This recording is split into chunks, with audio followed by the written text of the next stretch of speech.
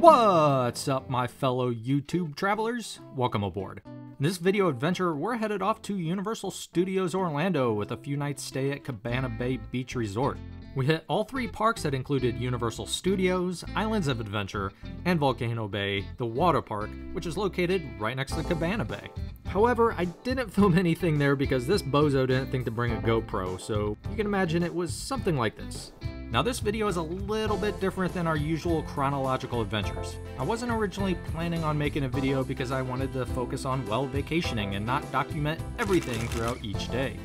However, I figured I could just film just enough to create an overview of our resort and what the parks have to offer, while also hoping to create something useful and fun. Regardless, I hope you get some kind of enjoyment out of this adventure, so without further ado, let's get into it.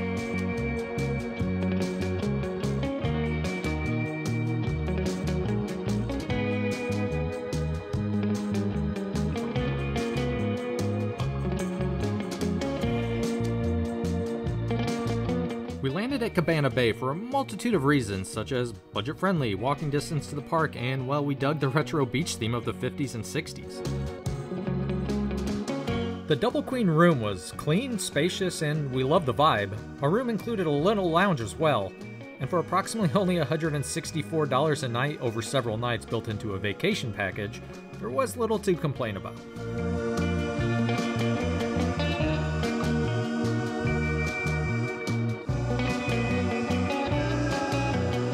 So yeah, you read those dates correctly. I filmed this over six months ago. I don't really have any excuse. Stepping outside, there's two large pool areas on both sides of the resort, including a lazy river. I cannot say that we utilized the pools, but there was a bar and grill outside called The Hideaway that dished up some killer shrimp tacos. Moving back inside, you have a large cafeteria with four large projections playing retro videos and cartoons, kind of up our alley, and this is connected to the Bayliner Diner that offers up a variety of food selections. Up on the second floor, there's a bowling alley, and also next to that is an arcade. And if 25,000 steps a day just isn't enough, there's also a fitness center located on the second floor as well. On the first floor, there's a Starbucks. I mean, my god, what would we do without it? There's also a Universal gift shop. Moving outside, for those looking for transportation options, there's buses that take you to City Walk in the parks. However, our preferred method of getting the City Walk in the parks was approximately a 20 minute walk through a pleasant walking path. I mean, if you're going to walk for hours at a theme park, what's another 20 minutes in peace and quiet opposed to a crowded bus? But that's just us.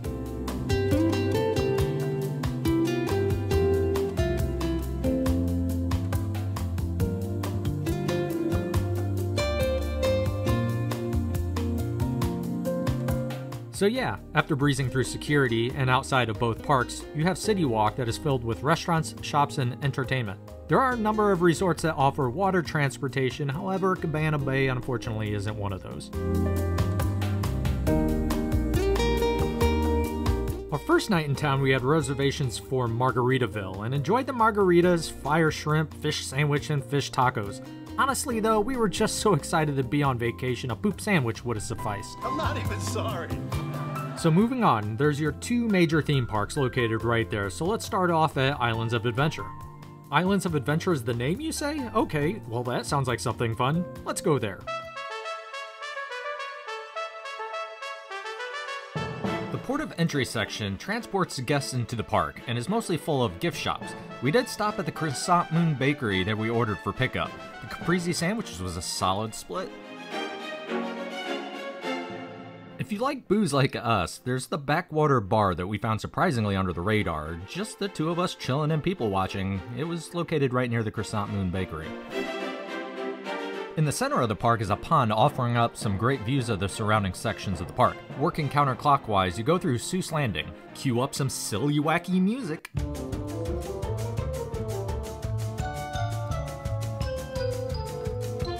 So yeah, for a couple adults not on psychedelics, there isn't really much here besides its wacky atmosphere. It's definitely geared toward the little ones.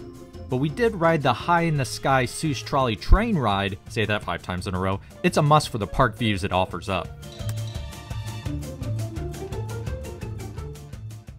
As we continue along, there's the Lost Continent section of the park, where we caught the show Poseidon's Fury that has been open since the park opened in 1999. However, May 9th of 2023 it will be permanently closed as they repurpose the attraction. At this time, Universal hasn't said what will replace it, but that doesn't stop the rumor mill, my favorite being a Legend of Zelda themed attraction. One could hope. Now, I didn't really film any more in the Lost Continent, so I digress, but there are some more shops, food, and a full service restaurant called Mythos, supposed to be excellent.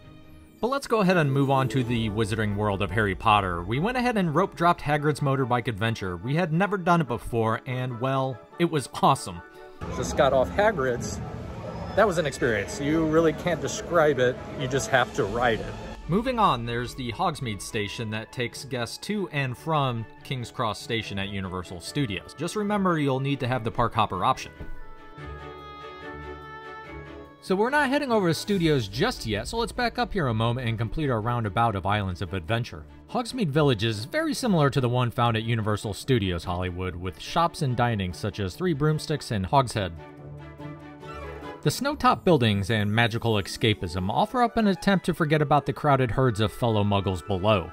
However, the crowd in this clip actually wasn't too bad as it was still early on in the morning.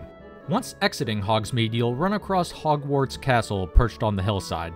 That includes the ride Forbidden Journey. Equally entertaining, though, is the queue alone. The queue makes for a nice escape from the heat or rain as you work your way through the corridors of the castle.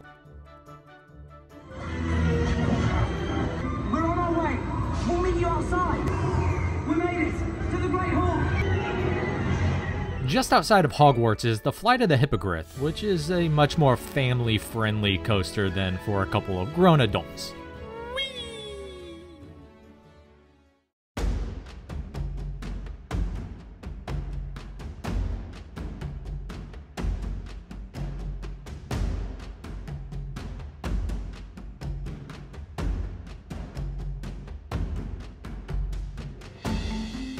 One of my favorite themed areas is the Jurassic Park section of the park. On the same day we rope dropped Hagrid's, we headed straight for the Velocicoaster. So yeah, I had heard nothing but great things about this, so I was pumped, especially coming off my high from Hagrid's. And I'll tell you this, I never get motion sickness, ever. But we were placed in the very back, and the ride, well, it did not go well. Oh, my stomach. I feel like I'm gonna throw up. Wait, what about your vomit streak? I know. I haven't thrown up since June 29th, 1980. Halfway through, I felt sick. My wife does get motion sickness, and well, she was in hell on earth, and when it finally came to an end, we needed a good time out. I'm dying. I was dying earlier today, and then I died. Now I'm dead. Now, Jurassic Park the ride was a bit more up my alley for the day. I failed to film more in this section, but there's obviously more food and beverage. Another ride called the Pteranodon Flyers that is for parents and their kids, also a discovery center that you would recognize from the original film. Like I previously had mentioned, I didn't really film everything, so I missed filming any of Skull Island, but it's just a small section of the park, and it has this immersive ride called Reign of Kong that we did not do this time.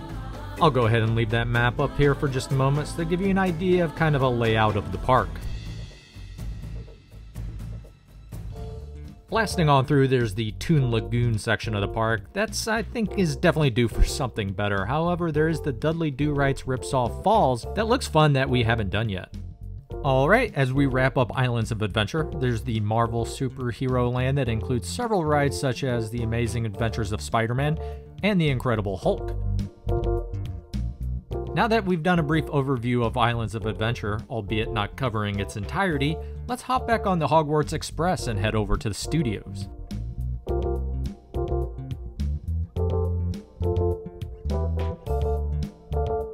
Now, of course, another option is just walking over to studios. Now, if you're looking for a change of pace, a slower one, I personally prefer studios because I find it a better place to just uh, walk around and linger. People prefer Islands Adventure for the rides, I prefer studios for the atmosphere, plus I wouldn't say it's any slouch on the rides either.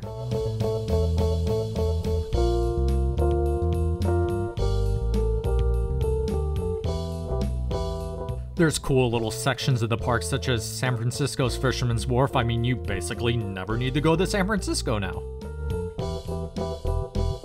You can go check out Springfield, home of The Simpsons.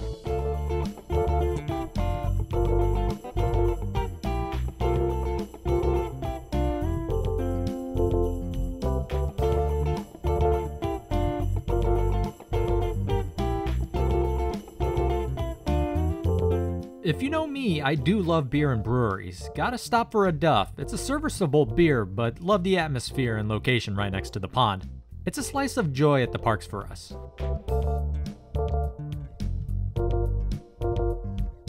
From Springfield, let's check out more Wizarding World of Harry Potter before we head for the final stretch of this video, and I'm not going to lie, I really need to finish this up as I've procrastinated long enough. Every 15 minutes you can catch the dragon on top of Gringotts Bank breathe fire. There's the immersive roller coaster Escape from Gringotts, but I do love the queue.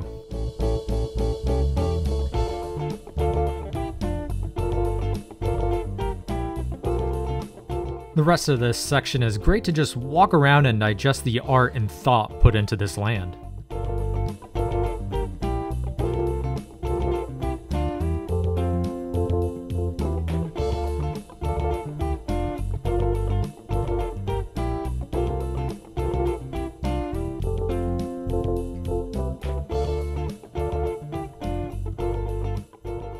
Call us crazy, but we rope drop the leaky cauldron for breakfast. While others are rope dropping rides, we're rope dropping eggs, bacon, toast, potatoes, and coffee.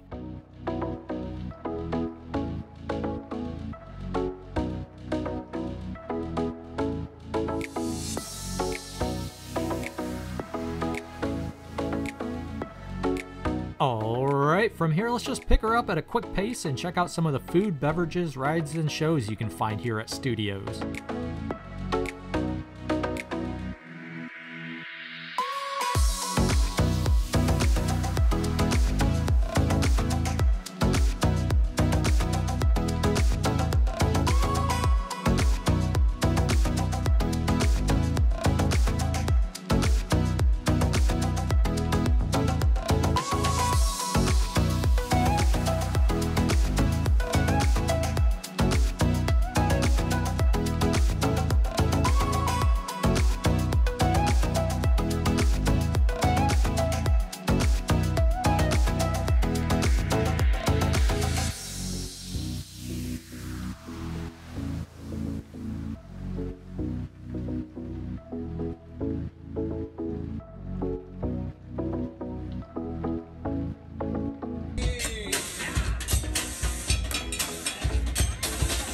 One of my final notes, we were here during Halloween Horror Nights, so there was extra activity going on during this time of year, and we paid for entrance to one of the evenings. I believe they had nearly a dozen haunted houses, and we went through several of them. You're not allowed to film, but we did enjoy the crazy Halloween atmosphere. I mean, a little fing crazy. Let's not lose our heads. Our hometown of Springfield, Illinois is home of the horseshoe, so I was excited to see this. And great take, Universal, it was fantastic. This is so f***ing good. Well, that just about wraps it up, folks. I hope you enjoyed this little video adventure to Universal Studios Orlando. As always, I enjoyed creating it. I'll quickly mention that just outside the parks, we ran into one of the theme park content creators we follow, Brixflix, and got into a chat with him for just a moment. If you're looking for in-depth information at Universal Orlando, I'd highly recommend a visit to his channel. I do appreciate you stopping by for another video, and I apologize for such a lengthy delay between videos. Let's just call it a combo of life and laziness. Just like most things in life, you get out what you put in, so I owe it to myself to try a little harder on this YouTube adventure. We loved Cabana Bay and of course the parks and will someday plan another visit. Up on the docket is working on the video of our visit to Las Vegas last November. So until then, take care. Vegas! Vegas, baby, Vegas!